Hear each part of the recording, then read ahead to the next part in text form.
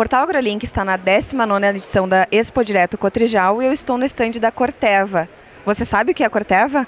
Sheila, nos conta um pouquinho e decifra esse, essa empresa para o nosso usuário. Boa tarde, é um prazer estar com vocês aqui. Corteva é a marca da divisão agrícola da Dow Dupont.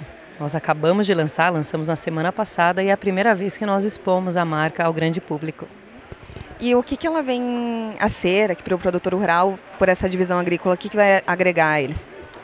Essa divisão agrícola vai criar uma empresa totalmente agro, cujos investimentos em inovação vão estar 100% dedicados ao nosso negócio, ao nosso ramo. Então o produtor pode esperar muita inovação, muita novidade, mais produtividade, menor custo. E tem algum significado especial para o nome Corteva? Tem. A Corteva, ela vem de cor, de coração, e teva, que é, um, é uma palavra hebraica para natureza. Então, cor, coração, teva, natureza, porque nós queremos estar no coração do nosso negócio, que é o agronegócio. Bacana, Sheila. E vocês escolheram esse Direto com a Trejal para apresentar, para acostumar o produtor rural com essa nova marca. Como é que está sendo a receptividade dele? Eles estão entendendo o propósito? Receptividade está sendo muito boa.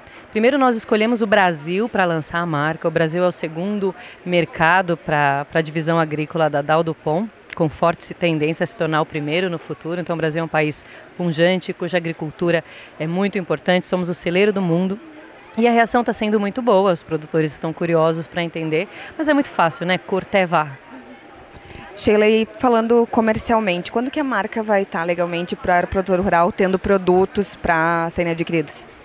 Como você disse bem, é uma marca e a partir de junho de 2019 ela se torna o nome da empresa. Então, o produtor pode esperar ver produtos é, com a marca Corteva a partir dessa data.